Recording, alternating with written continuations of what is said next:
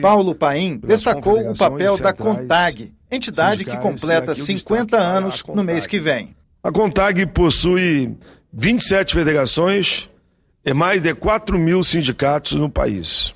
4 mil sindicatos de trabalhadores e trabalhadoras rurais, filiados. Ela luta pelo direito de milhões de homens e mulheres do campo. A CONTAG integrou a vanguarda da luta contra a ditadura militar.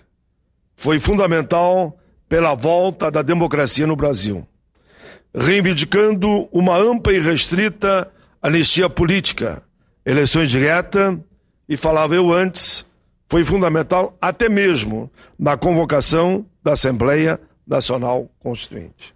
Mosarildo Cavalcante leu o discurso do ministro Marco Aurélio Melo na cerimônia de posse como presidente do TSE na última terça-feira, quando o ministro enfatizou a importância do voto nas eleições do ano que vem. O voto é o maior indicativo do estágio democrático experimentado por uma nação. O voto como instrumento de manifestação da vontade de um povo há de ser genuinamente livre decorrente de convicções e de expectativas sobre o futuro do país.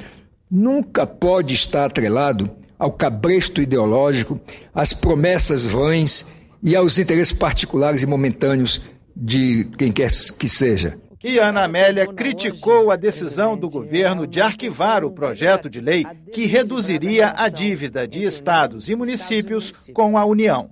A proposta já aprovada na Câmara dos Deputados e em tramitação nesta casa faz parte dos debates sobre o novo e necessário Pacto Federativo, importante e abrangente tema que deveria ser tratado com atenção e prioridade pelo governo federal e, sobretudo, por esta Casa Legislativa.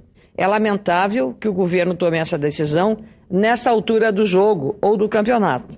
Agora, de modo repentino, o governo recua e só aceitará mudanças do indexador para as dívidas à frente, sem efeito retroativo. Em resumo, o projeto de lei que poderia melhorar as contas de estados e municípios está simplesmente sendo abandonado pelo governo e pela própria base.